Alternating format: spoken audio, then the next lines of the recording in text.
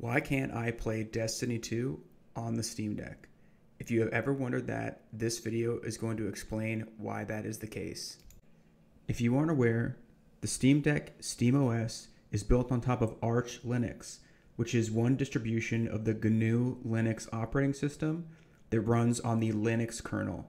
I'm going to explain what all of these terms mean and why that prevents you from playing Destiny 2, PUBG, and other online competitive games on the Steam Deck using SteamOS.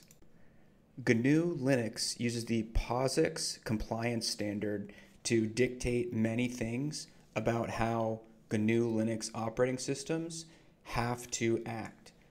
The main difference between a Unix POSIX compliant operating system and something like Windows is the file directory hierarchy. So in Windows, you have things like the C drive and program files. That is not how it works with POSIX compliant operating systems. Macintosh computers, those are POSIX compliant operating systems. Arch Linux, a GNU Linux distribution, is a Unix POSIX compliant, compliant operating system. What that means is traditionally there's going to be two halves of the file directory system the root half and the home directory half. Those are completely separate, and the permissions for the root directory are more strict than the user permissions for your home directory.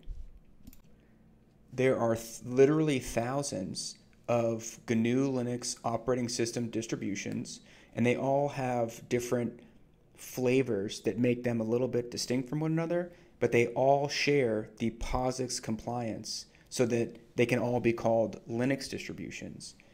And all of these Linux distributions are built on top of the Linux kernel, and that is the crucial fact that's going to prevent games like Destiny 2 from very easily being ported over onto the Steam Deck's SteamOS. So, what is the kernel? To make an analogy, let's use a car. So the distributions of Linux are the car models. So let's say you have a Ford Mustang, that's going to be the Ford Mustang distribution, or you have a Tesla, that's going to be the Tesla distribution, or you have a Toyota 4Runner, and so on and so forth. Okay, those different outward models can be totally different from each other. Now, let's think about the GNU Linux operating system as it being a car. So the car has wheels, right? The car has doors, it has a seat, a, dry, a steering wheel. All of these distributions, they share the same guts and those, the, the, the structure of a car. Think about that as the Unix POSIX compliance that the operating system actually enacts. What is the kernel? The kernel is the drivetrain and the engine and the electrical wiring system, right? It's what actually connects your GNU Linux operating system and the Unix POSIX compliance to the hardware of your computer. And all of the Linux distributions share the same Linux kernel within a couple versions of each other, but it is the same kernel. Now, other operating systems, they also have kernels. Windows has a kernel. However, the Windows kernel is private. It is an enterprise level operating system, and the kernel code is not shared with the public. The Linux kernel, not only is it open source, not only is it shared with the public, but it is the most active open source project in the world. It has millions of commits. It's one of the oldest open source operating uh, open source projects in the world, and there are many many people who are paid full time just to update and review additions to the Linux kernel. So now you're thinking, okay, Pizza Party, great, thanks for the history nerd lesson. What does any of this have to do with playing video games? I'm going to answer that. So, companies like Bungie and whoever makes Vermintide 2, I don't actually know, or PUBG, they want cheaters to not be able to log onto the game and ruin it for everybody else. So, there are companies like BattlEye, which is the service that they pay for, to implement a software package that can be installed onto Windows computers that can tell whether or not you're trying to alter with the file system or the kernel at the memory level deep down and cheat in the game.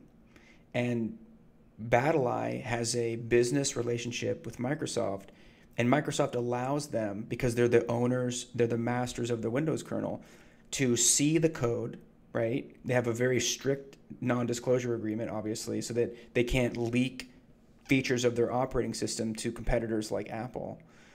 And they allow them to implement, you know, core level spies effectively to alert games like Destiny that somebody is indeed attempting to cheat in the game. So, why don't they just add this exact same thing to the Linux kernel? No big deal, right? Well, that's easier said than done. Software developers and people who are open source advocates, which, you know, 100% of people who contribute and review additions to the Linux kernel are, they are a very, let's say, particular type of person and they are quite opinionated. They do not enjoy private companies like BattlEye going and putting effectively spyware or doors to add legitimately malicious spyware deep into the Linux kernel that can be an enormous safety issue because something like 85% of all websites on the internet run on hardware that is running a Linux distribution. So it's not so easy, even if you knew exactly how to implement BattlEye at the kernel level to allow it to run on SteamOS. Valve doesn't have the kind of pull to just tell the Linux kernel maintainers to put that kind of stuff into every single distribution, whether or not people are playing video games on it or not. You also need to understand that BattlEye is a business and their software being private and not open to competitors is also something that they are very much influ- interested in keeping going. So you can't expect BattlEye to just go and give their secret sauce to an open source project because Steam decided to go with an open source operating system. So you're going to reply in the comments saying, "Hey, Pizza Party, don't you know?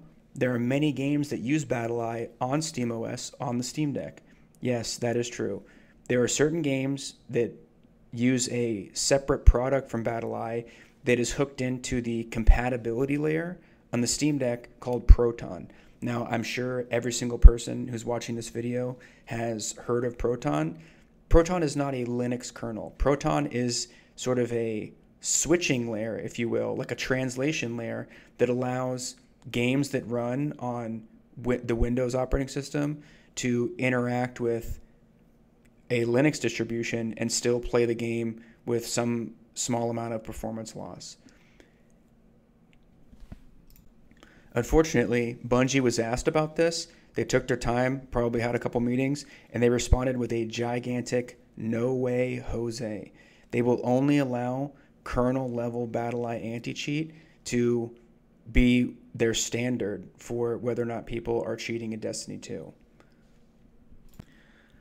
So I hope this little tutorial of the Linux kernel and BattlEye and anti-cheat and Windows relationship sheds a little light on unfortunately why you can't play certain games on the Steam Deck yet.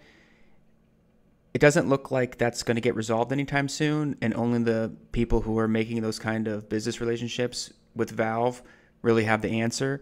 But for the time being, there are workarounds to get Windows on the Steam Deck. Watch my video that I released on that if you're interested in how to do it. But let me know in the comments if you have any questions about this. I love chatting about nerdy stuff like this, so uh, I would be happy to reply. Thanks.